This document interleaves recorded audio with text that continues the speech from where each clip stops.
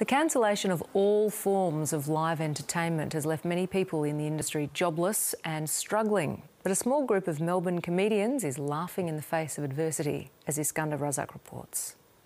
Obviously, I'm from Melbourne, um, so our Shelbyville is uh, is, is Sydney. This is stand up in lockdown.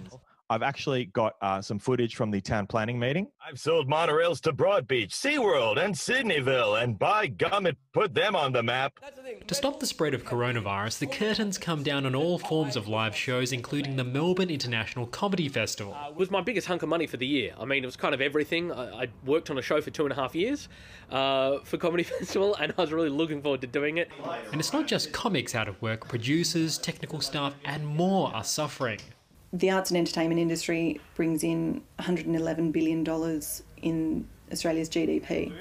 But instead of quitting, these would be festival acts are bringing their shows online. Tickets are sold on a pay what you can model. To earn some sort of coin is very important because money can be exchanged for goods and services, as well as food. There are problems like lag, and the crowd must be muted. Well, the main difference is you can't hear people laughing. The lack of laughter isn't the only technical difficulty that a comedy Zoom show has. There's also the problem that heckling, boo, is completely different as well. The heckles are written in, and laughter is its own show.